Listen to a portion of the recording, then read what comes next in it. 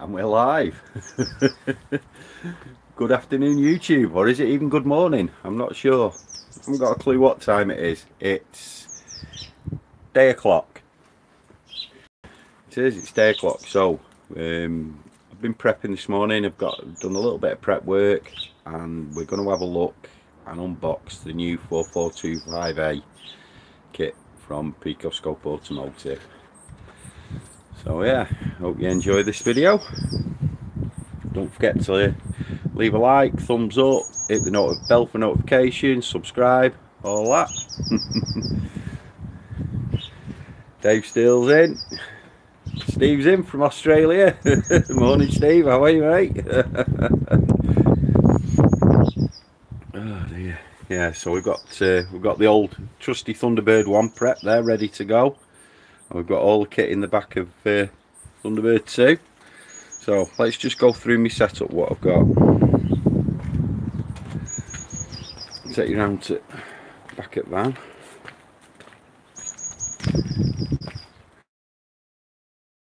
Automotive Solutions, good afternoon.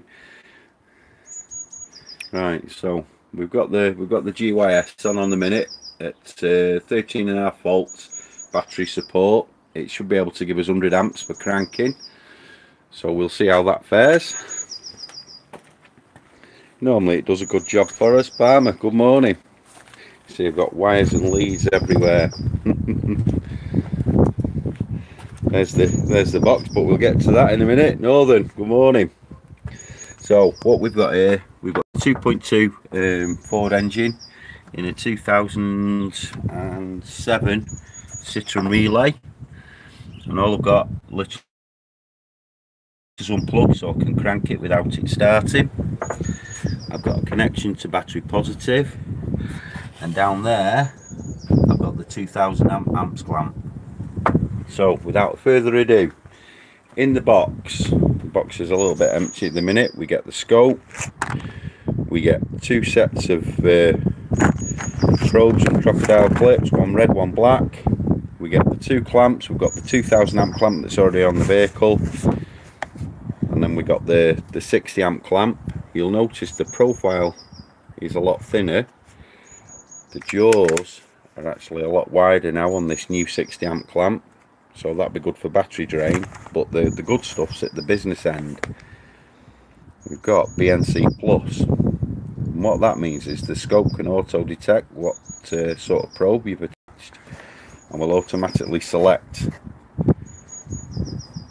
the correct uh, the correct probe so it, it avoids the, the setup issues other people have. And then it will also light up blue and yellow to tell you what's uh, we'll get to that in a minute. We've got set back probes. We've got, we've got one see again with BNC plus. We've got four, four leads, red, blue, yellow and green. We've got the attenuated probe, which is brilliant. I love these little attenuated probes. Two fuse savers. Two cop extensions for coil on plug. Two um, inductive pickup, both with BNC plus. Just pick that bag up we don't want to lose the bags just yet. And then we get to the actual business end now. So the 4425A it's roughly the same footprint as the old scope with the additional earth on the back as well that screw that you can see there that's the additional earth. And then also um, so that'll reach down on um, environmental noise and that and then you'll also there there's a 5 volt DC power input for future developments. The case seems a lot better. Uh, it's a good sturdy rubberized case.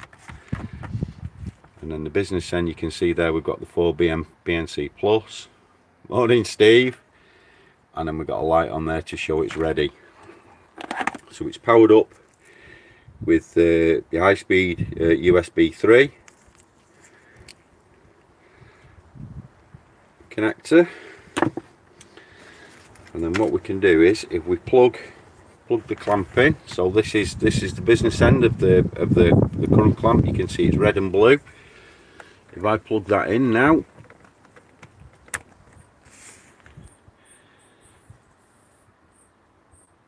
you can, I don't think you can see it in this light but it's, it's actually lit up. And then we've got our battery cable so it's a simple push fit you don't no more turn and twist. So hopefully that'll be no more um, no more uh, worn out BNC connectors. And then from there just move that out the way slightly. Go over onto the laptop. Sorry about the glare. Let's see if we can get any better. We're going to use the Pico 7 software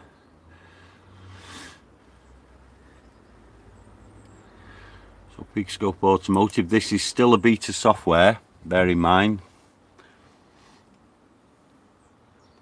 Angel how are you mate? You see we started the, the Pico software up. It automatically comes up with the presets and the guides and all that sort of stuff but we'll we'll ignore them for now. And what we can see immediately is that it's selected a current clamp for channel A and battery voltage for channel B and it's auto ranged both channels. So bearing in mind there's no current going through that current clamp at the minute. That's actually clamped onto the earth strap of the vehicle. So it's auto ranged at plus or minus 5 amps yeah? Whereas channel B there's battery voltage so it's gone onto a 20 volt scale. So what we need to do before we do anything is we just need to turn up this current clamp click on the box. 1000 amps should do it. Click on the box again to get rid of that. And this is optimized for touchscreen. Morning Corey how are you? So this is optimized for touchscreen but I am using a mouse at the minute just to keep my fat hands out of the way. So it's on a it's automatically on a, a 10 second time scale. Yeah? 2 million samples no trigger okay. Literally hey up. How are you Joey? Long time mate. Hope you're doing well. So there's no trigger set up. I actually want to put a trigger on it so I'm just going to click on the trigger box. I'm going to select a single trigger. Right, that'll do. Click on the trigger box again, and then you see we've got a little yellow diamond here, and the, the cursor's actually stopped. So what I'm going to do, I'm just going to drag it back and drag it up. And it's now sat there waiting. So all I'm going to do now is crank the vehicle.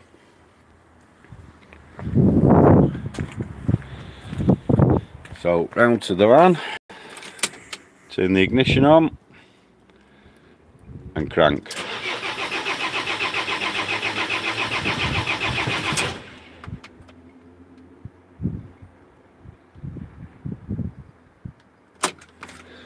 That's it. So we go around and we can see now that we've actually captured captured the waveform. 1300 so it is good afternoon. Awesome. I wondered what time it was. It's day o'clock in cheshire. On day 7549 of the lockdown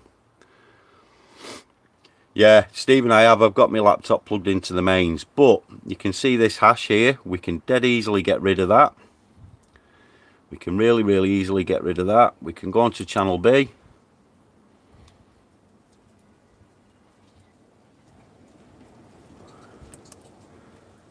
And we can just knock the vertical resolution up a little bit. Just take it up to 14 and a half bits. Click on the box again so that just cleans it up and that cleans it up afterwards. So we've got a raw capture and it only it only filters it post capture. So all your original information is still there.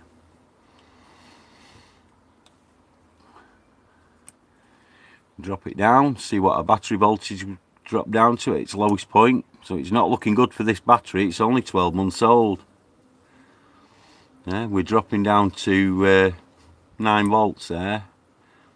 Yeah so the old battery's a bit uh, come on focus.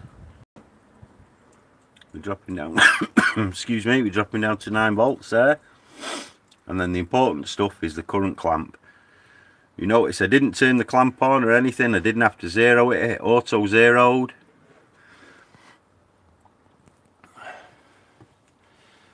and let's drag our ruler down from the left hand side.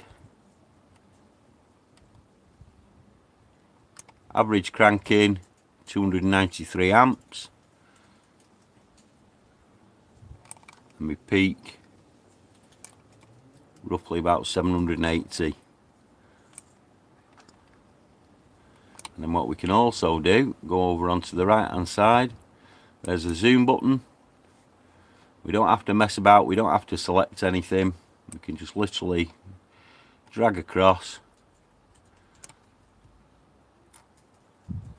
We can see everything we want all the detail we want.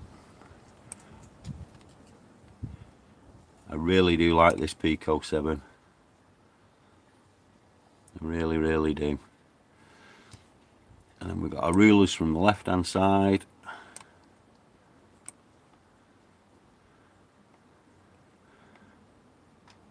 two peaks. And we've got our cranking RPM all done automatically for us. Yeah so uh, oh you want to have a look at the battery maintainer? Right okay. Um, this is available from I, I mine years ago. I, this has been bouncing around in the back of my van for over three years and it's never missed a beat. It's fanless. And it's a GYS flash 100.12 so it's ideal for programming.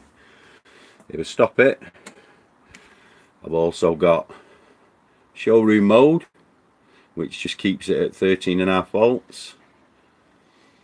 A full charge mode which is fully selectable for different types of batteries. And then what I want just diag Plus. and then I've got leads for it. I set down here with the Anderson connectors. I think they're three meter and then I've got a set of custom made 10 meter leads.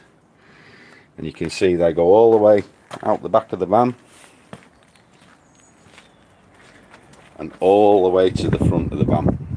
With loads to spare. And then they're they're here on me on my battery. So yeah. Uh, absolutely the only problem is with them being uh, 10 meter the you you have to calibrate the leads and mine won't calibrate so the the charging uh, the charging curve is slightly out on it. Um, but when I'm using it in battery support mode that's that's fine.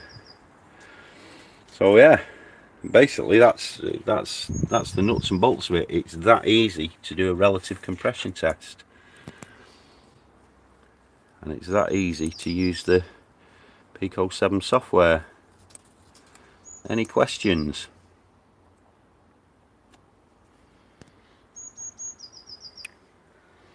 Have you got any questions?